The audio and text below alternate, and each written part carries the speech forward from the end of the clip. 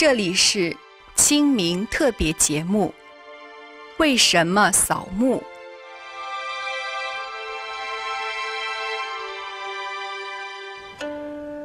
各位观众，大家好。清明节就要到了，年年啊都有清明，我们年年的都有感慨。你看这个题目啊，叫“为什么要扫墓”？什么是扫墓？哎，我们通俗的给大家讲，扫墓就跟扫房子一样，谁的房子呢？自己已经去世的爸爸妈妈。爷爷奶奶，哎，先祖亡人的房子，啊，你这么想就对了，那是他们住的地方。在世的时候，哦，过年过节都要扫房啊，给这个家里老人打扫卫生啊，哎，视死者如是生啊，过世了，去给爸爸妈妈扫扫房，就是这感觉。所以，哎，你看那个，呃，清明的时候啊，那个墓地上的。草荒草要给它剪掉，修整一新呐！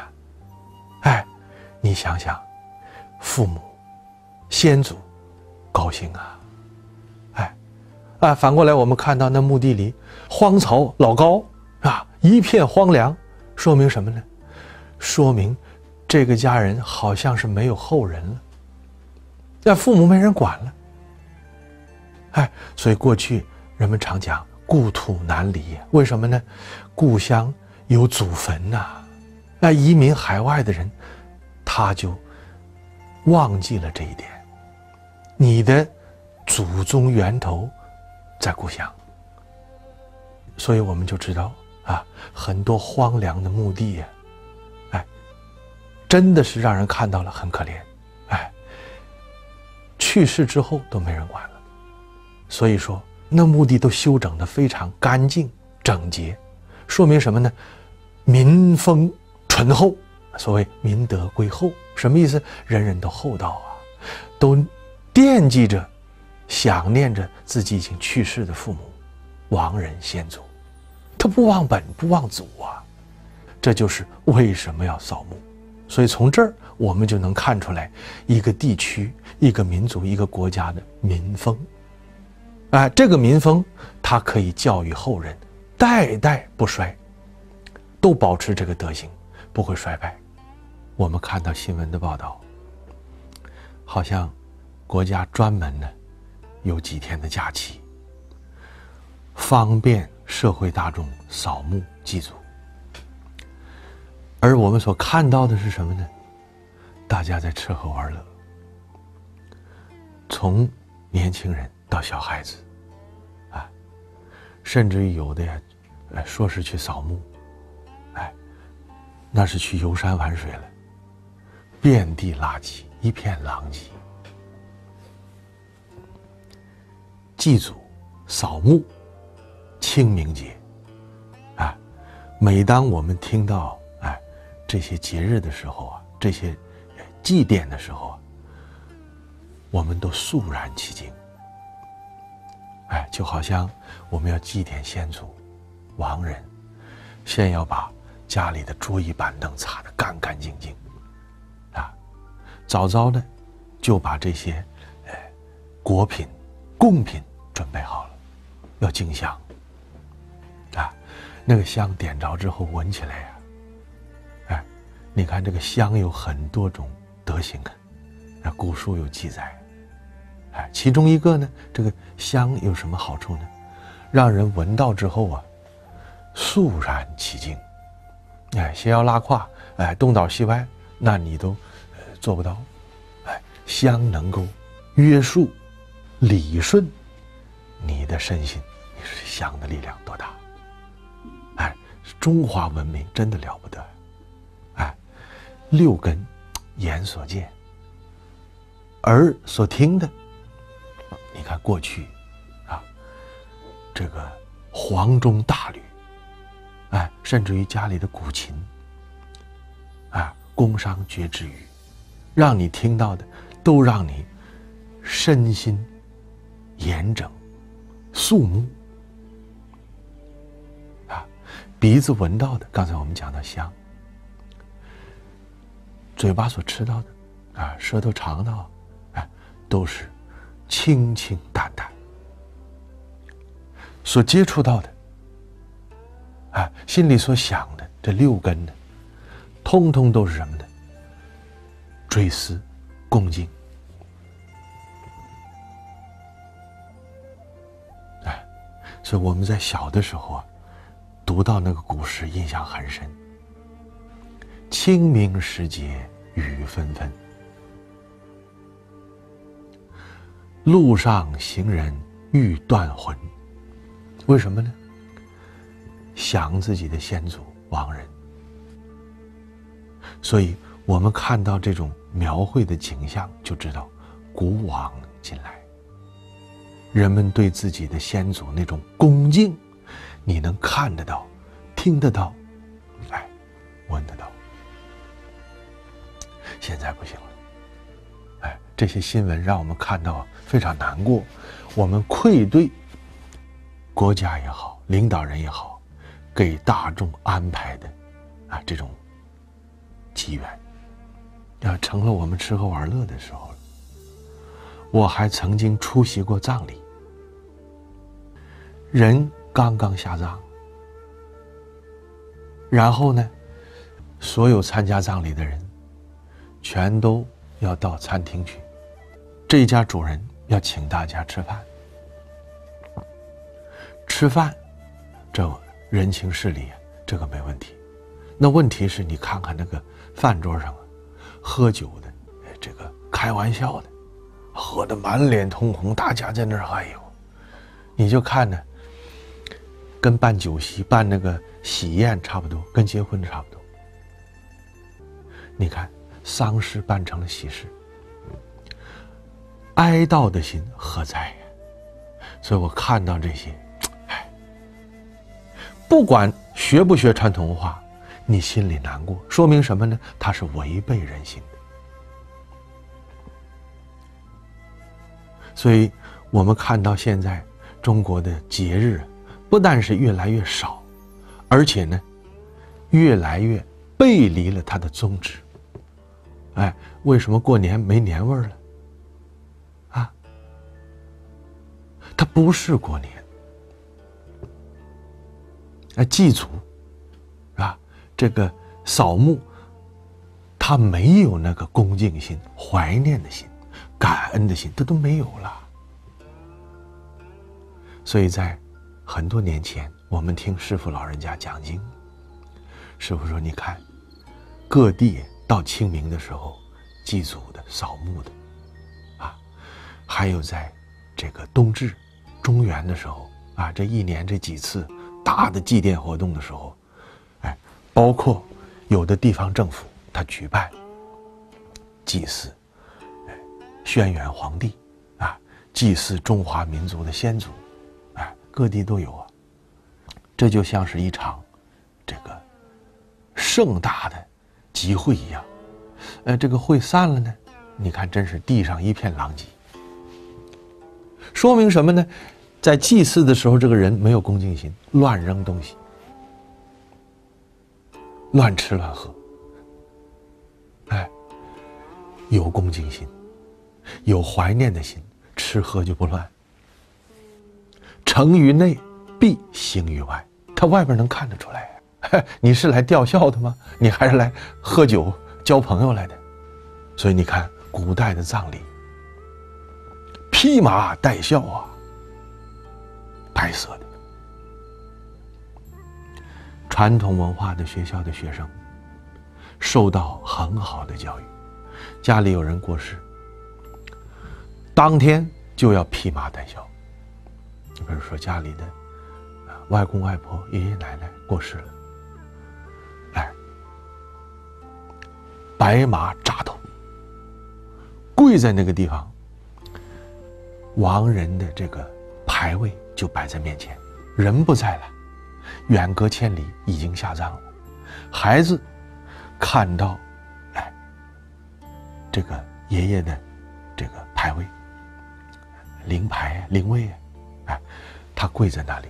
这一日三餐怎么样呢？顿顿都是先把饭菜供给这个。先祖亡人，然后呢自己跪在那儿吃。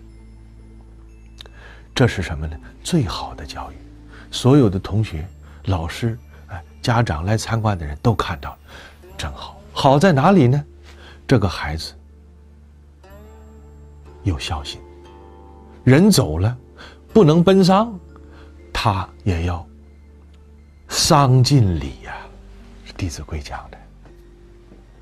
他有礼节在，这个礼节就是提醒你要存着感恩、悲伤的心。为什么用麻布？我们大家看《礼记》，啊，《周礼》《易礼》这三礼，麻布和别的布不一样，它很粗糙。换句话说，你没有心情用好的布料，让你摸上去心里边就发凉。这是用麻布的意思。白色呢，什么颜色都没有，意思就是什么心情都没有。就这个意思表这个法，哎，你看到之后，瘆人，什么意思呢？害怕何来啊？爸爸没有了，妈妈没有了，感到恐惧呀。他们能不能去好的地方？这一家人少了长辈，家不团圆了。它代表这个意思。从头到脚，百步啊缠着，腰里系着，披麻戴孝。这就是什么呢？用你所看到、所摸到、你所穿的，啊，所吃的、所闻到的，通通都是在教育你，家里有大的不幸出现了。所以你看，我们的先祖把这些，哎想的。哎考虑的多么的周到，所以他们讲，哎，中国人不懂得发明创造。你看西方人，他错了，数典忘祖啊，说自己老祖宗不好，什么原因呢？我们不知道什么意思，甚至完全不懂。我记得在这个我出差的时候，我看到家里出殡的，哎，棺材在那儿停着，搭个灵棚。城市的、农村的都有，这种情况很普遍。哎，把当地那个人呢找来，哎，吹吹打打，唱什么歌呢？唱情歌。邓丽君的《何日君再来》，你说这不是打岔吗？这不是开玩笑吗？什么意思？你是高兴啊，还是这是哪儿跟哪儿啊？这是啊？何日君再来？啊情歌这是，这真是哭笑不得。哎，你要去问呢，他说我们当地都是这样，现在人就是这样，你不这样，人家还哎还还这个看不起你。对于亡人的那一片哀悼、思念、悲伤，一点没有。你说他真没有，他有。但是这个风俗是这个，你说怎么办呢？他也在那儿哭笑不得，敲锣打鼓的也不知道什么意思，为什么敲也不知道，是吧？还有的什么呢？把当地那个，哎，有那个以此为生的，他帮着你哭，你父母都不在了，你哭不出来吗？这都奇怪了。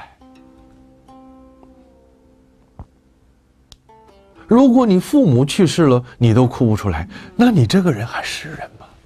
这不是骂人的话呀！你人性何在？还得找人来哭，给人钱，啊，以造声势，这是大笑话啊！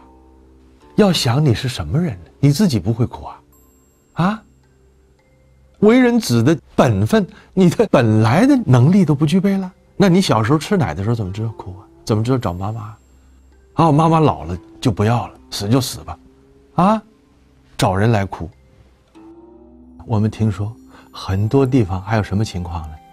家里死人了，哎，大办酒席，然后呢，收礼收钱的，哎，收很多钱，靠着自己的亡人赚钱，大不敬！你怎么能这么做事呢？啊？这我们想一想，如果这要是官员做这个事情，你把当地的人民都教坏了，民风都被你破坏了，你家的子孙，那更被你毁了。难道不是吗？好像说赚钱不大好听，事实如是啊！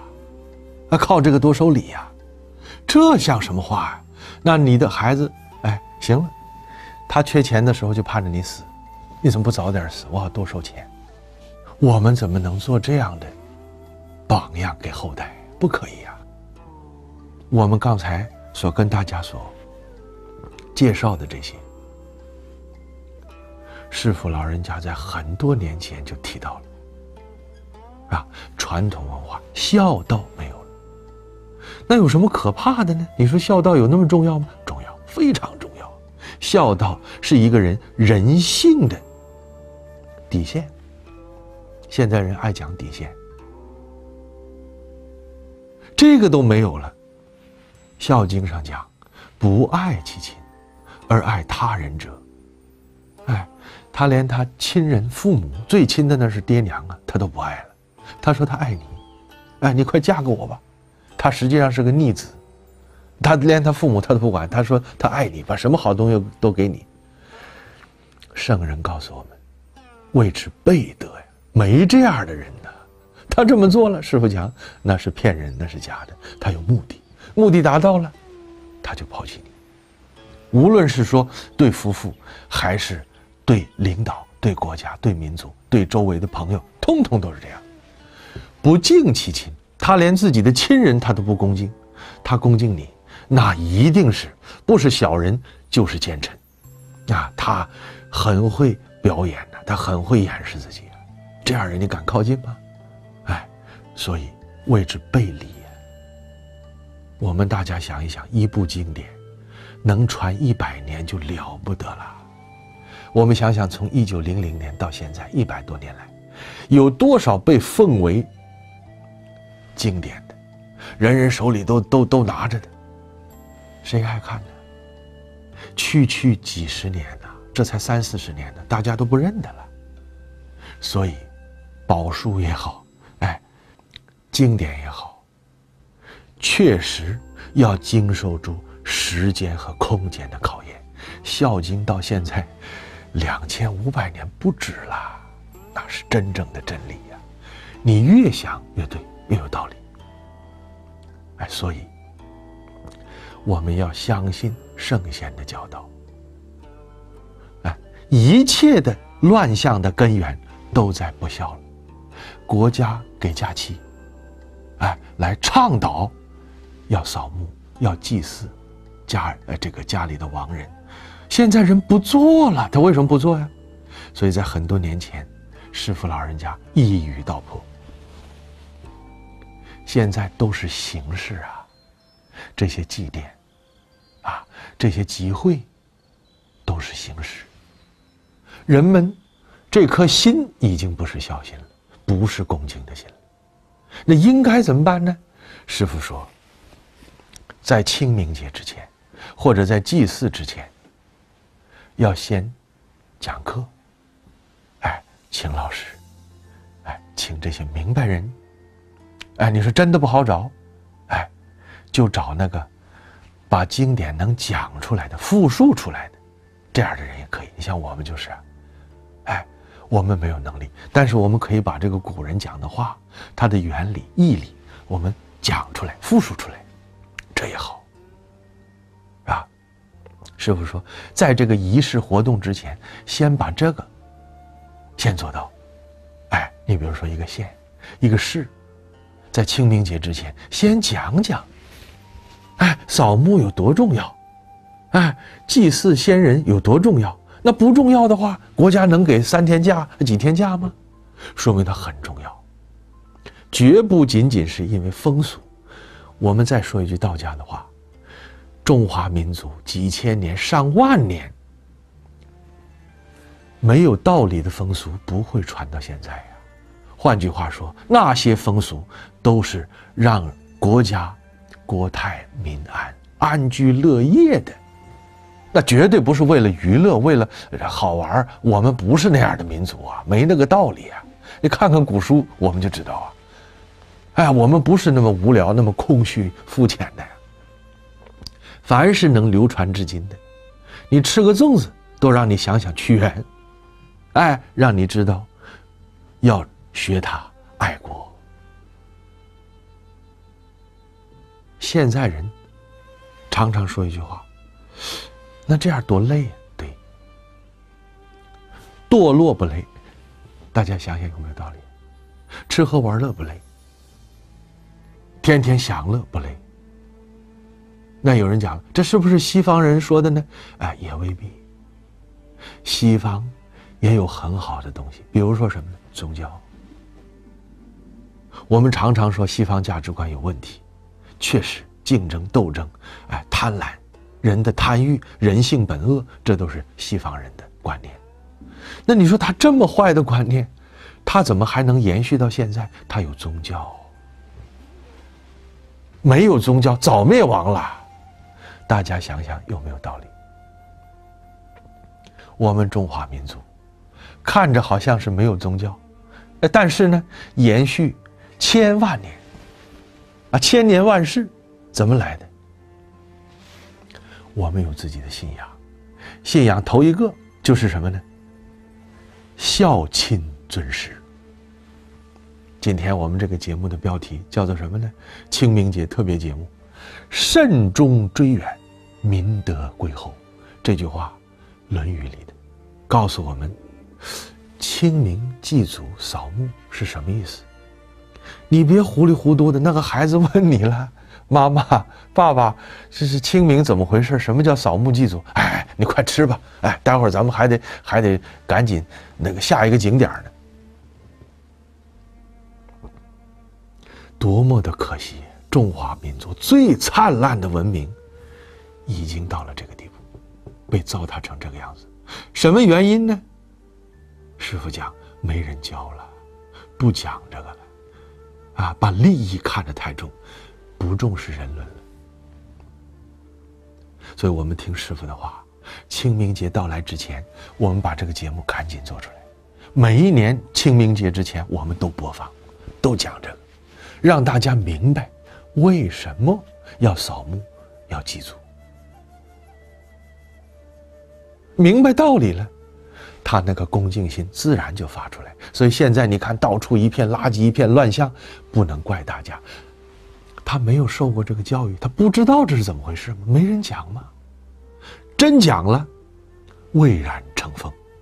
所谓民德归厚啊，老百姓的德行都厚道，这个国家真的好治理啊，不像现在。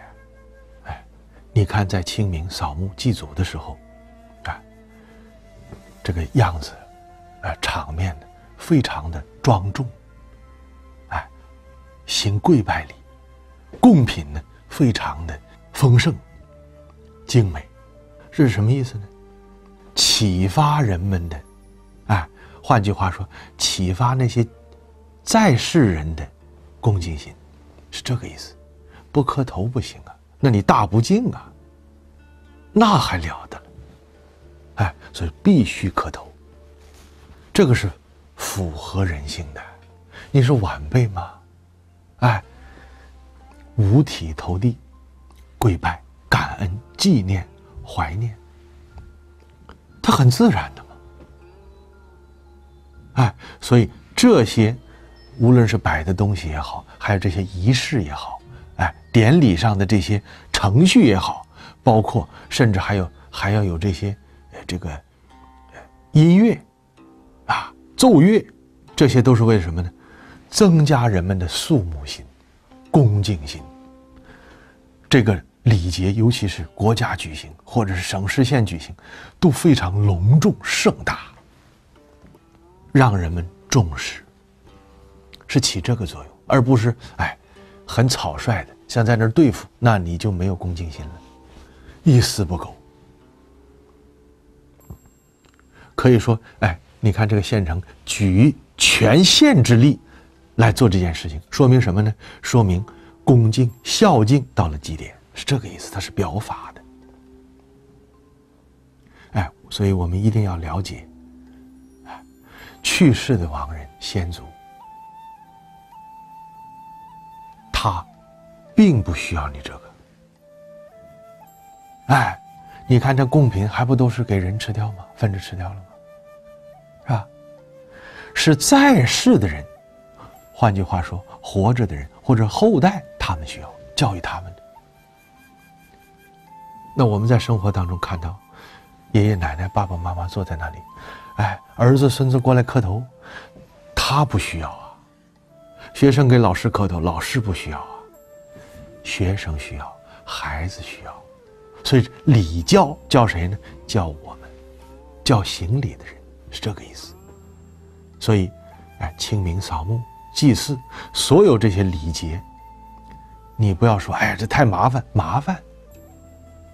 哼，咱们说一句你好懂的话，你小时候一把屎一把尿，哎，给你换尿片，麻烦不麻烦的？那真叫一点一点伺候过来的，那恩德之重啊！哎，所以说我们要懂。父母没有给你这条命，没有嫌过麻烦，给你养大的。你现在长大了，你嫌麻烦了，你这是什么呢？忘恩负义啊！哎，在这些过程当中，好像是哎礼节挺多，很隆重，一下这一上午过去了。为什么呢？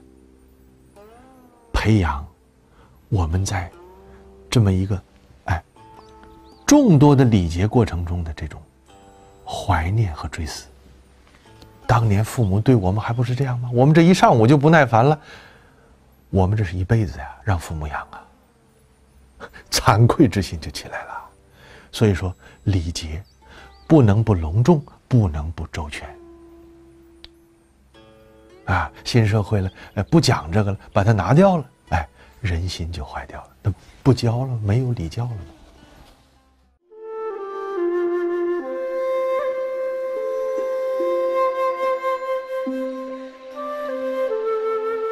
您正在收看的是圣贤教育全球同学网远程教学节目《中华传统文化入门必修课》。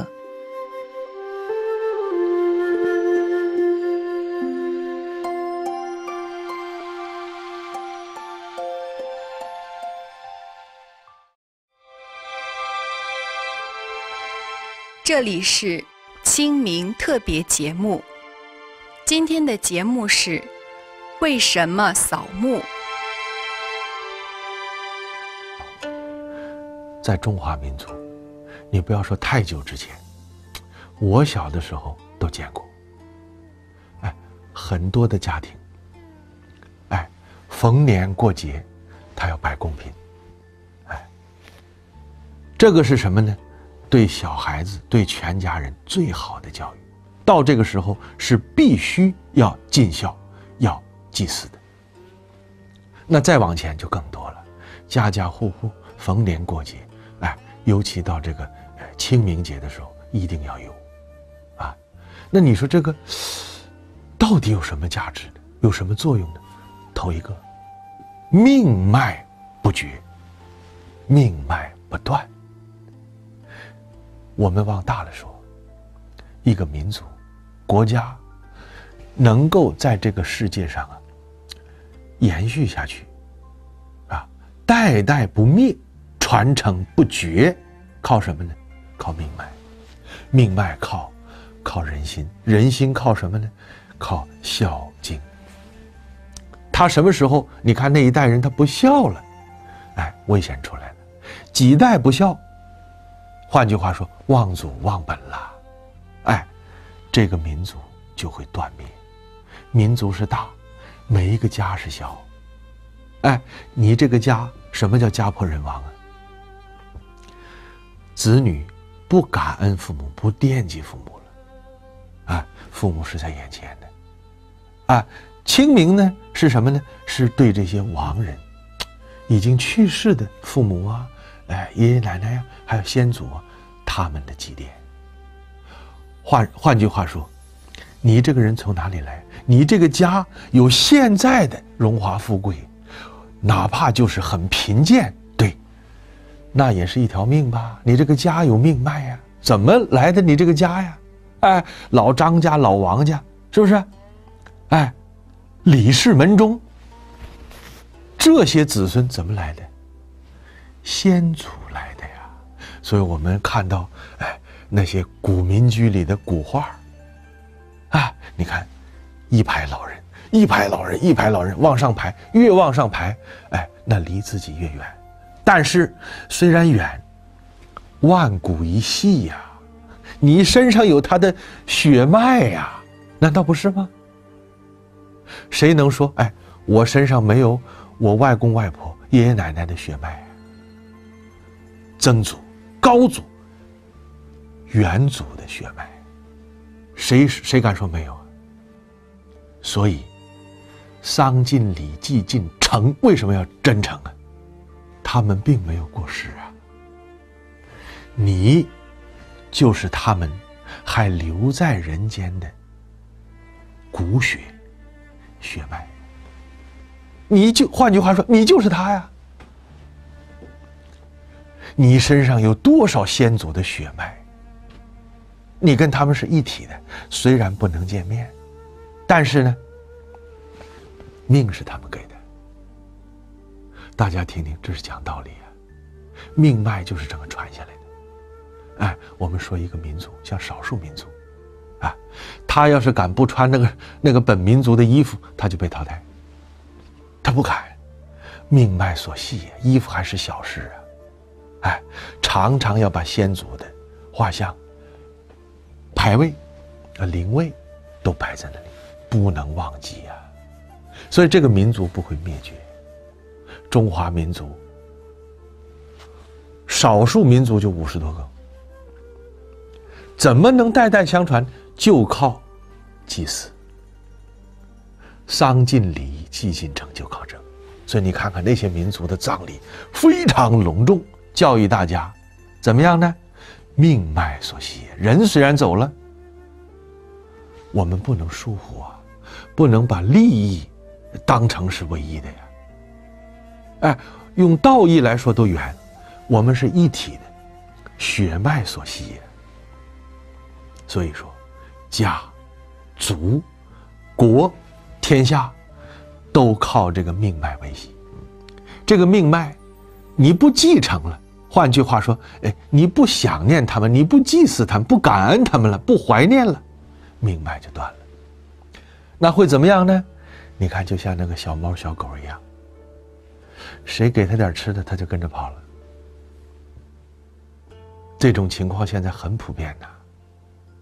满嘴说洋文，啊，说英文的，啊，天天想到国外去的，这样的人多了，这个民族就没。大家想想，命脉断了，他心里没有先祖了。哎，所以这些节日、这些活动、祭祀，都是为了让你念念不忘命脉所系，你使命所在，你不能让它断了啊！你从哪儿来的？你要往哪儿去？还有比这个事情再大的吗？你看《左传》上说：“国之大事，在祀与戎。”祀就是祭祀，戎是国防。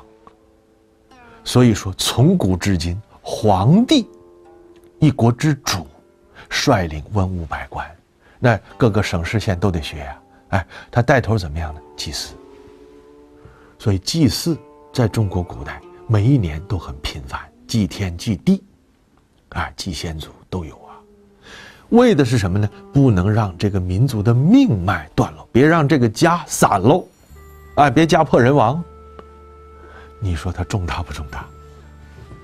时时刻刻提醒你从哪儿来的，你别对不起老张家的先祖，所以你看那孩子犯了错得跪在那儿，先祖的牌位前，张氏门中历代先祖，他要在那儿跪着，为什么他犯错了？那还行了，哎，所以孩子要在那儿，哎，一边磕头一边说对不起先祖，对不起先祖，从小就教他这个，教他孝，教他忠。你是想让子孙后代，哎，这个民族的后人都不孝都不忠，还是要哎忠臣孝子？全都在这些祭祀的节日当中，所以清明节是孝道的教育啊。我们要看得明白啊。哎，妈妈过世了，爸爸还在。哎，你心里还有妈妈吗？啊，喂奶的时候想着妈妈，哎，要钱的时候想着妈妈。妈妈走了，跟没这个人一样，你敢吗？那老那老爸爸都不揍死你！乖乖的，早早的，跟爸爸讲，爸爸，咱们今年什么时候去看看妈妈呀？清明节人多呀，哎，爸爸心里听了安慰，说我儿子好。叫做孝道的教育，家里边常常有这个牌位灵位，念念不忘。所以有些人有错误的想法，那才叫迷信呢。哦，家里摆这个是不是不吉祥？吉祥，他是孝道的教育，怎么能不吉祥呢？不摆这些先先人的牌位不吉祥，为什么呢？没有孝心了。讲道理怎么是迷信呢？所以这个牌位是提醒在世的人念念不忘。他们养育我们的恩德，换句话说，给我一条命，我身上的血肉骨脉从哪儿来？他们给的，我能忘了他们吗？都不讲道理吗？所以明德归厚，那个厚是什么意思？厚道。那相反的呢？忘恩负义。《弟子规》里上来就叫丧尽礼，积金城，从小就教这。长大了都是孝子贤孙，都是好人呐。做官忠臣，佛陀所教的，不做国贼，他一定能做到。史料里太多了啊！忠臣出于孝子，孝子怎么来的？从祭祀先祖、清明扫墓来的。那么讲到这里，清明扫墓为什么大家真的都听明白了？感情是教育啊。那个父母苦笑一声啊，他会讲什么？你让我儿子扫墓。哼，让他恭敬先祖，哎，呃，对这个去世的爷爷奶奶，哎，要要要去怀念，他连对我们都不孝敬啊，你说怎么办呢？所以这个扫墓清明这些对他们不管用啊，这个问题是最大的问题，最严重的问题。那你说怎么办呢？没有任何办法，只有一条路，哪条路呢？把《弟子规》做到，你先把自己作为父母该有的本分做到。什么本分呢？父母教儿女，他答应缓慢了就不行。为什么呢？应勿缓。父母教训他，他不恭敬的听着就不行，你就得管教他。哎，所谓父父，做父母的像做父母的是父母啊，哎，才能够得到子子。你光抱怨不管用啊。我们看到清明了啊！我们想起来，孩子对我们都不孝。我们要在平时落实《弟子规》，哎，落实圣贤的教导。我们要像个长辈，像个老师，像个父母，哎，唯一的出路。除此之外，你想别的方法？说这孩子是不是有心理疾病了？找心理医生花很多钱，到什么强制学校去改，不管用。为什么？他心出问题了。心出问题不是心理的问题啊，是自信被蒙蔽了。狗不叫，性乃迁，迁是变迁的意思。性相近，习相远，习气就不一样了。哎，这个我们听懂了。换句话说，你要想得到孝子贤孙，让他每天先孝敬你，否则的话，清明扫墓，看得见的他都不孝顺。看不见的他能他能用心恭敬吗？孝顺吗？那不可能的嘛。所以说，一定是从在世的人做起，而不是从亡人做起。亡人呢是什么呢？是更高一步，把命脉要传承下来，是这个意思。这后代看，这叫家道。哎，家道不能断灭。哎，你看那个孙子长大了，他到八十岁，他讲，我的爷爷，啊，那会儿传统文化刚复兴的时候，哎，我是从那会儿学来，传了好多代往下，那才好，将来会有家谱，会有祠堂，我们坚定的相信会有这一天，这个命脉就往下传了。所以，我们这一堂报告非常重要，我们希望把它做成光盘。全国乃至更多的华人地区，小学、幼儿园这些学生家长都应该来了解、来看。这不是我们自己发明创造，是我们的先祖教给我们的，《弟子规》里讲的，啊，《论语》里讲的。慎终，自己家里的老人过世了，他的丧礼，慎是什么意思？早早的就要考虑。不能说说了怕，呃，父母不高兴。但是呢，希望他们能够安详往生，去好地方。在礼节上，不能有一点偏差，非常谨慎，教育家里人和后代。哎，终就是丧礼。哎，追远呢？远就是已经哎过世很久的先祖、么高祖啊、曾祖这些。啊，所以过去他有那个古画，让你能看到啊。哎，曾祖什么样？哎，见到了，挂在屋里的正厅中堂啊，让你天天看着这个。哎，你是有祖宗的人呢，你从哪儿来的？你不知道啊？那不看不看，忘了忘了，他就败家，他就没有家的概念，没有长辈，没有尊亲，没有孝亲的概念，那你不家破人亡了吗？所以把它放在最为尊重、尊贵的地方，中堂。啊，那祭祀的时候要请到自己家里祠堂，大家族有祠堂。追是什么意思？追思、怀念。哎，隔得比较远，用一个“追”字，很生动。意思什么呢？一体的，要互相找，别忘了，恩德无量啊。你身上流着他的血，你能忘了他吗？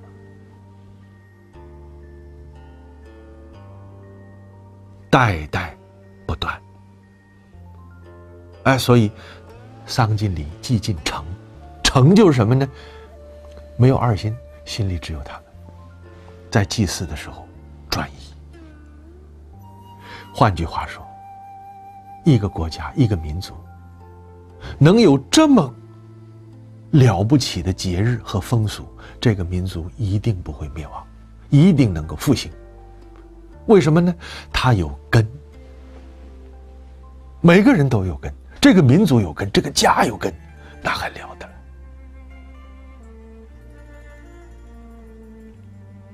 所以，师傅常讲，各地的官员，哎，小到村长，大到中央啊。人人都懂是怎么回事，他才能怎么样呢？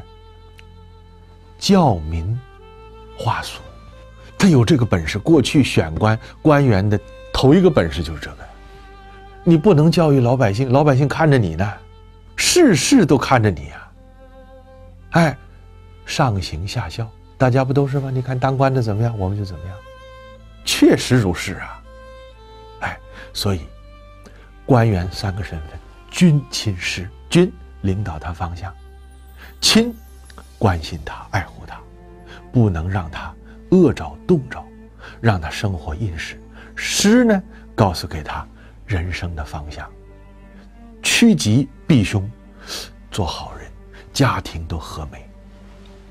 所以，真正有这些学问和德行的人才能做官。所以，君亲师不是给他安上去，是他本来就有这个德行和能力。才有资格当官，是倒过来的。哎，所以在我们中华民族，你放眼看全世界，独此一家，别无分号，只有我们，哎，扫墓祭祖，哎，这个祭祀，哎，这个先祖，我们伟大的祖宗，全世界只有我们有。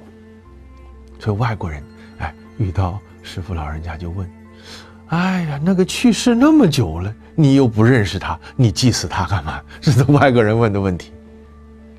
哎，他们每个人都是个体，中华民族不是，中华民族是一体的，而且呢，它是突破空间和时间的。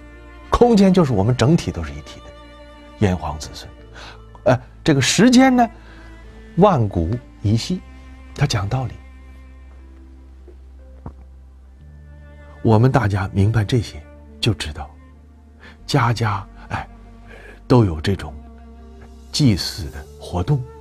啊，人人都明白道理，好在哪里？头一个，在世的人看到了，哎，所谓老爸老妈看到了，欢喜放心。哎，那你说这话怎么说呢？他知道将来百年之后，儿女会对他怎么样？他都去世了，他还在乎这干嘛呀？哎，要在乎一个人。对去世的人，都能这么感恩戴德、念念不忘，他能是坏人吗？这个家能乱吗？不会呀，妈妈、爸爸放心了。他是厚道人嘛，民德归厚这句话意思很深的。哎，小可以到一个普通人，大可以到整个这个民众，叫民德归厚。这个民族都是厚道人，哪儿来的动乱呢？啊，谁跟谁争啊？哪有打不完的官司、审不完的案呢？没有啊，民德归厚，人心都厚道嘛。所以父母看到了，他放心。哎，如果自己的儿孙看上去白眼狼，哎，狼心狗肺、忘恩负义，那个父母死不瞑目。为什么？他不放心吗。他自己受点委屈，还则罢了。但是呢，他对这个在世的这个这些孩子们呢？就怕他们打呀，就怕他们争啊，就怕他们闹啊，他真的叫死不瞑目。所以我们这才知道啊，慎终追远，丧尽礼祭进城，能够让我们的父母长辈安心，同时呢，让街坊四邻，让整个这个家族安心，有好榜样。你说这个有多么的重要？那谁来带呢？一个地区有当地的长官，那国家呢是有领袖，那自己的家呢由家里的最高的长辈，哎，由他来做主导。哎，很早之前，你还看三月份的时候就得张罗了，哎，又该到清明了啊，哎，儿孙们自动啊，爷爷您放心吧，我们把这个都照顾的挺好的啊。准备的都很充足，哎，还差一段时间的时候，这一家人在一起，哎，围着老爷爷讲，几号到几号，咱们到哪里去，是什么个路线，当地什么气候，我们准备了哪些贡品，哎，学佛的人，我们从几号到几号就开始，呃，给这个先祖亡人呢，我们准备诵经了，放生了。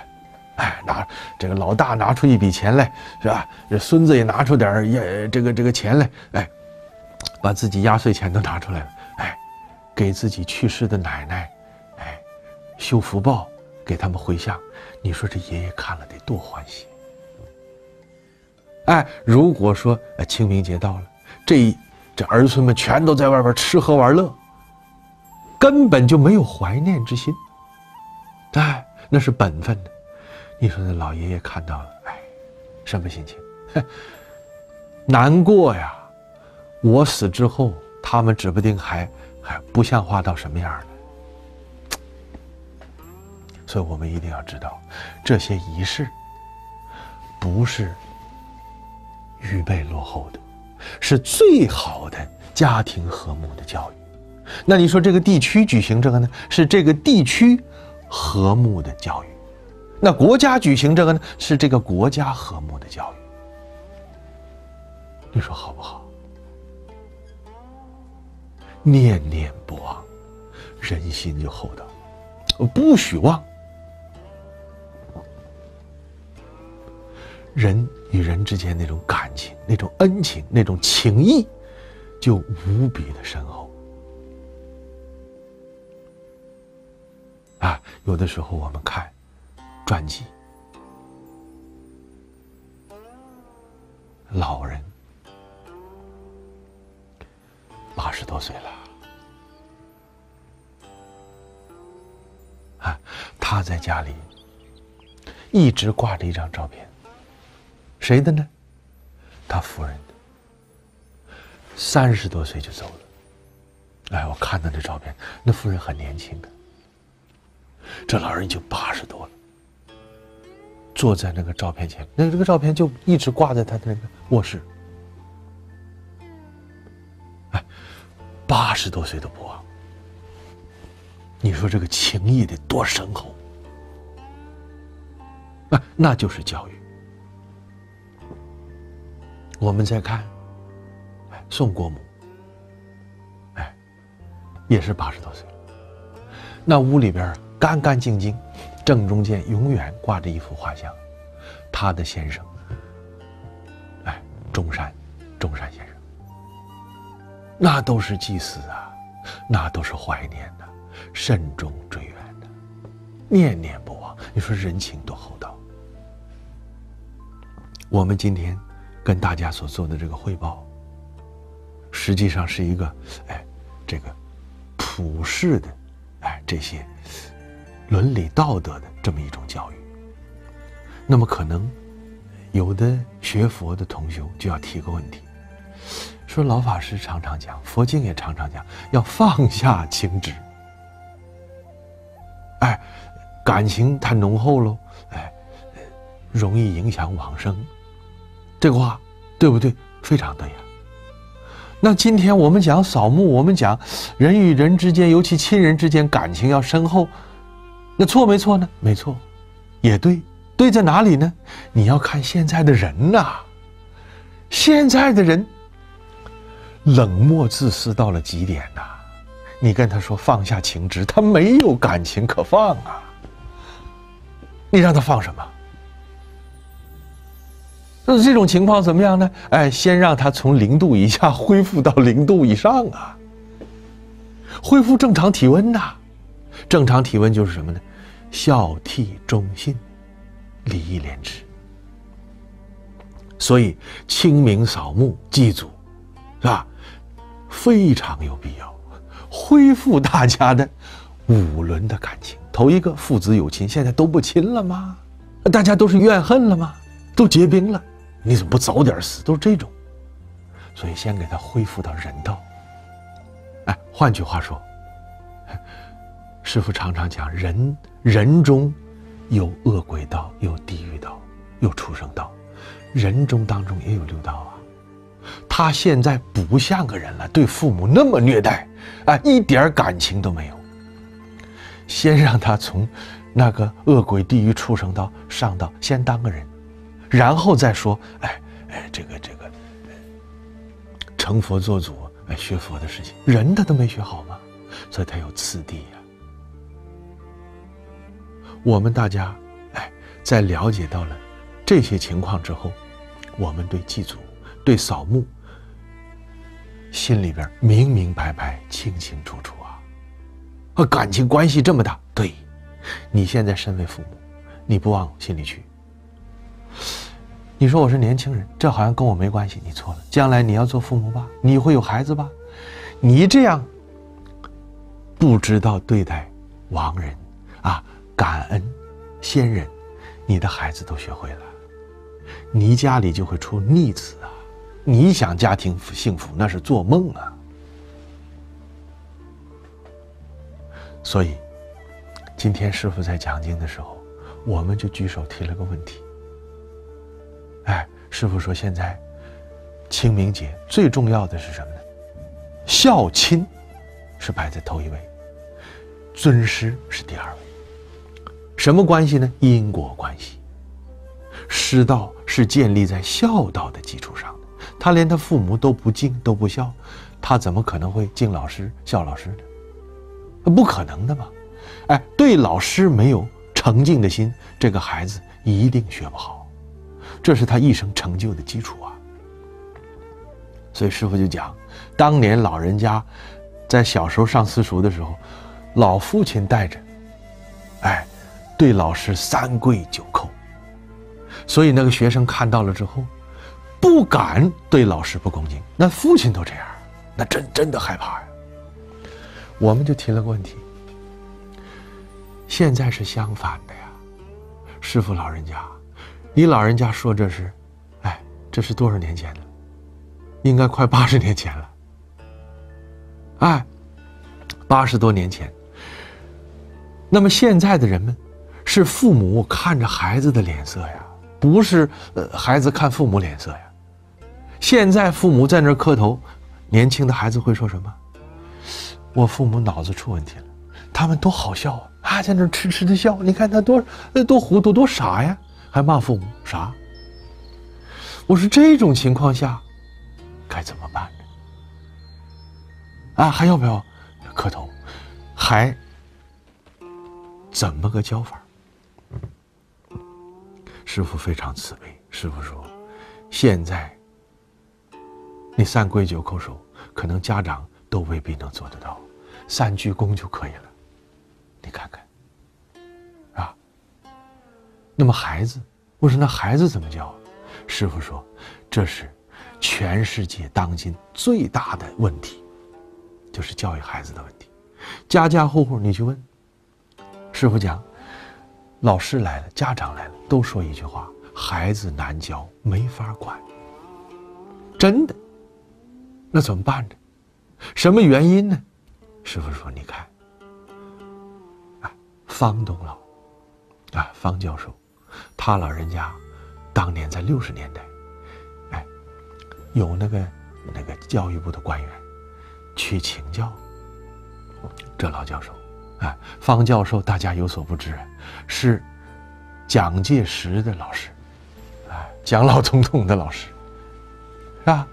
哎，那个时候，哎，这个蒋先生就是学周易，哎，学这些古代哲学去求教，那是真正的呃师生关系，哎，所以方老师是师傅老人家第一任老师，啊，那么。方老师就讲，这个社会要想恢恢复安定和谐，你们这些官员要怎么样呢？报纸、电视、杂志，通通都关闭。哎呀，官员说这办不到啊，那办不到。你们要知道，这些东西天天都在破坏中华传统文化。中华传统文化是什么？是人道的教育，人性的教育。换句话说，那些东西都在天天破坏人性，哎，破坏圣贤教育。你想好可能吗？从六十年代到现在，我们想想过去了多少年了？这五十多年过去之后，我们就知道了，更乱了。网络、电视。啊这些所有的媒体，包括大人说的话，把孩子们全都给教坏了。哎，我们是做老师的有体会，见的学生和家长太多了。哎，你辛辛苦苦教半年，啊，教甚至教一年，回去之后啊，顶多也就是一个星期，全部毁掉。真的是白教了，再回来还得需要三个月再恢复，这是真的。所以为什么很多传统化学校那学生、家长说你不要回来，你回来污染太重，是实话，是真的。我给大家举个例子，我们就知道，啊，祭祀扫墓这种大礼，现在进行有多难。你跟他说了，说了他也未必听得明白，真不容易啊。师傅今天讲。太难了啊！哎，我记得有一次，我们几个义工出去买东西，哎，这个义工带着个孩子，三岁多，从外边吃着那个雪糕，哎，给他们买的进来了，进到一个商店，卖布的，这几个卖布的这个老大姐呀，看到孩子那就凑过来了，叽叽喳喳的啊。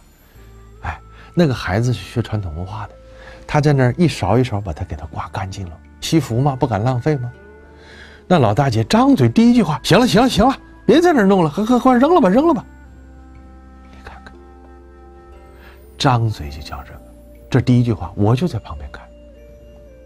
哎，另外一个老大姐又问：“哎，你看这小朋友啊，他手里边啊，还帮着拎个小包，哎，帮着大人拎东西啊。”这老大姐就讲：“那个这里边有有没有你的东西啊？有没有给你买好吃的好玩的？告诉他，告诉告诉告诉他们，啊，要是没有的话，不管拎着。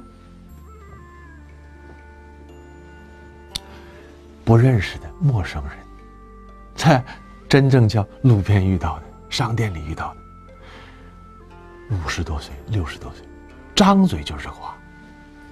我在边上就急了，我当时表情很严肃，我就挡在这个孩子面前，我对着这几个老大姐讲：“我说你们爱孩子，喜欢他，我们理解。我说但是你们这么说话，会把孩子都教坏了。我们从小要教给孩子。”爱惜东西，惜福。我们要告诉他，事事都要照顾长辈，他有孝心。哎，如果是这种教法的话，哎，没给我买，我就不管你，我就不伺候你，我就不帮你。我说这不成了逆子了吗？啊，那将来父母上年岁照顾不动，照顾不了他们了，伺候不了他们了，他们就会抛弃父母啊。逆子怎么来的？我说就是你们这样一句一句说出来的。他们可能也，估计是几十年从来没有听到有人说这些话，因为学传统文化的人不多，说正经话的人不多。哎，我们是学了之后明白道理了，这一讲，他们也很受震撼，这是真的。这个事情过后，我就问这几个老师，我说：“你们敢不让让这个孩子到社会上来？敢不敢？”哎，他们在那，哎呦，没想到啊！对呀，电视、网络，你看那三岁孩子不会看吗？大人说话、言谈举止污染，亲眼所见，这还了得？哎呀，好吓人呐！但是这话你不说，一般的家长不懂。扫墓不会扫，祭祖不会祭，哎，张嘴就说弄那干嘛？这都是现在家长讲的。你说你的孩子能好吗？这堂课你没听。你想要幸福美满的人生，孝子贤孙，师傅常常讲，那是做梦啊，真的得不到啊。我们都希望千家万户好，所以把这些体会供养给大家。最重要的，领导要明白，老师要明白。长辈、亲人、父母要明白，就君亲师这三个太重要了。因为什么呢？老百姓就看他们，你怎么说我们就怎么做。各级官员不就看上级的吗？所以说，无论是从政治，什么叫政治？政者正也，治呢就是治理、管制。一个家有政治啊，《红楼梦》大家有体会呀。真的是用正道来管制、来治理这个家、这个族群、这个社会、这个国家、这个单位，这就叫政治啊！政治怎么样？一定要有伦常道德，要符合人性，要通人性。没有人不欢迎他，怎么是封建迷信呢？这莫名其妙，不是？你怎么能给封建迷信放三天假呢？那讲不通嘛！这里边有。至善至美的、究竟圆满的、和人性相通的圣贤教育、人性教育，家家都需要啊！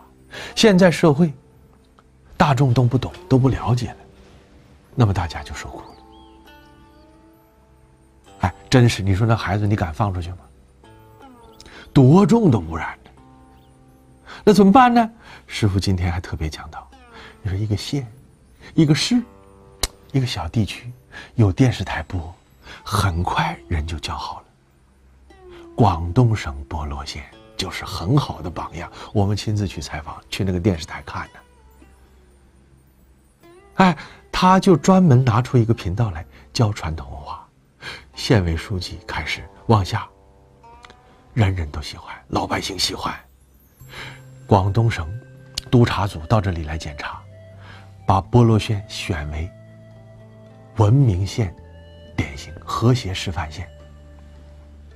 我们看到有这个报道，就一个频道，人是能教得好的，所以今天师傅老人家特别提出来。圣贤教育改变命运这套光盘里边，有一期节目，叫“此生必看的科学实验”。师傅说非常震撼人，从小学生、幼儿园都应该看，他看得懂。就是什么呢？水实验。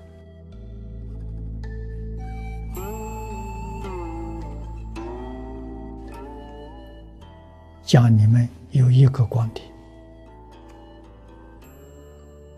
好像题目是不能不看的一个科学实验，里面是江本胜博士水实验做得好，我觉得这一这个一段应当做一个专题啊。台湾刘医生他也做这个实验。效果也非常好，啊，可以把它做成个专辑，让人多看看，知道一个事实，起心动念，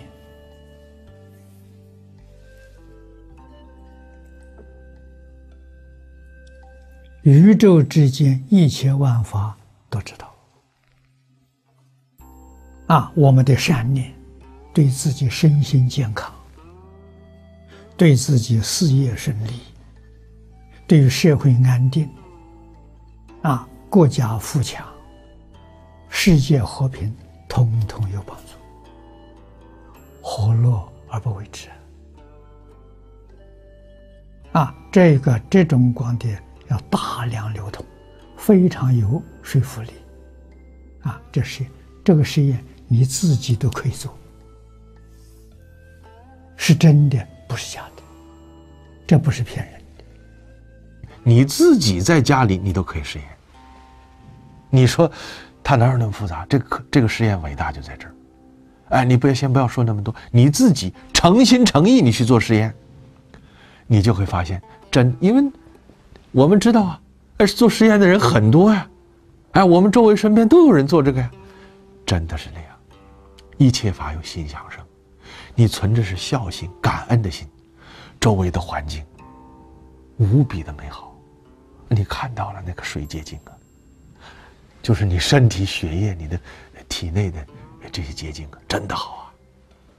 外边一杯水有变化，反过来你不孝、大不敬、自私自利、吃喝玩乐、贪嗔痴慢疑，全是这个。你看那个水结晶，你自己去看。所以。心念的力量不可思议啊！我们相信，在不久的将来，当这些课程能够普及到全世界，人人都明理，人人都去落实，都去做了。师傅讲，也不需要什么成本，一片光盘，两块钱贵不贵啊？这一两块钱的光盘，你就放在这个频频道去播，你说它？它有这么大的效果，你为什么不做？何乐而不为呢？你自己都讲不通吗？哎，真是等到中华民族古圣先贤的教导光大于世啊！等到那一天的时候，我们相信危期不远了。每到清明节的时候，家家户户都存着孝心、感恩的心，纪念先祖和亡人。大家想想。我们这个国家，乃至于世界，那周围的环境该多美好呀！为什么呢？水实验吗？人心都好了嘛。所以，清明扫墓是最好的信念。哎，孝敬。师傅讲，圣贤教育要想落实，要想人人受益，前提条件就是孝心，孝亲为根，为始。哎。才有后边的尊师。哎，孝没有了，一切都没有了。哎，在这里，我们祝福普天之下所有向往哎太平盛世、国泰民安、愿意学习哎儒释道圣贤教育的所有的同学，哎家庭和乐，先祖、故亲都能够啊往生西方极乐世界。我们的后代能够代代兴旺，民族复兴，中华文明复兴，广大于世。哎，太平盛世能够在我们这一代实现。啊，谢谢大家。尊敬的世界各地同学，大家好！本次课程已经结束。恭请各位肃立，让我们以无比感恩的心，感念中华先祖、人类先祖对后代子孙的挚爱，感念古圣先贤的伟大教导，感念敬爱的导师半个多世纪以来的慈悲教诲，感念所有授课老师孜孜不倦的教化。感念国家和君主的培养护佑，感念父母家人的养育和关爱，天地君亲师，恩德永不忘。我们愿意所有的讲课、听课和修学的功德，全部回向给天地君亲师和一切众生，祈愿奉持经戒。喜心易行，国义秋聚，弥不蒙化，天下和顺，日月清明，风雨已时，灾厉不起，国风民安，兵戈无用，崇德兴仁，务修礼让，国无盗贼，无有冤枉，强不凌弱，各得其所。我们也再次感恩您的共同修学，恭祝您六时吉祥，道业早成，阿弥陀佛。